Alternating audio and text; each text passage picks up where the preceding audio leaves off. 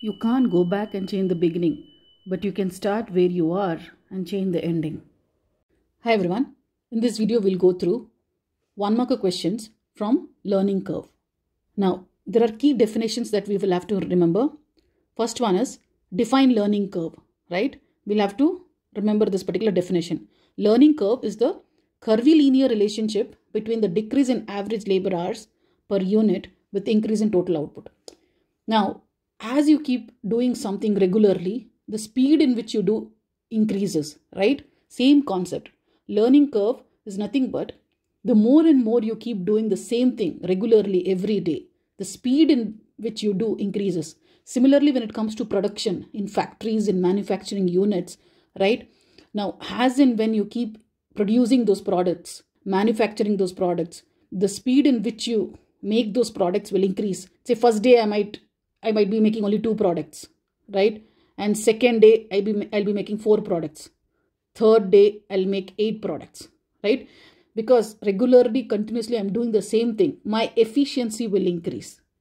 My speed will increase. Thereby, what will happen? The number of products that I produce will increase, right? That means the cost also will decrease. So this is what is called as learning curve. Now, define learning curve ratio learning curve ratio is it's given by the formula here. Average labor cost of first 2n units. That means say i'm first making 100 units right? In one day i'm making 100 units. And then second day say i'm making 200 units right?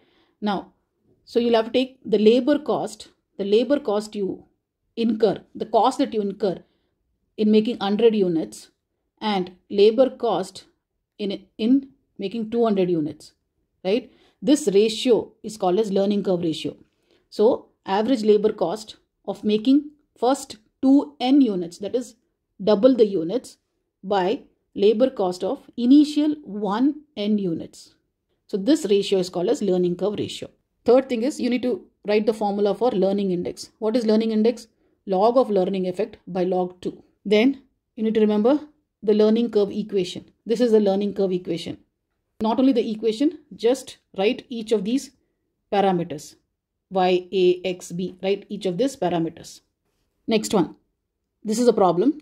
The average labor cost of 100 units is given and that's, that is 50 rupees.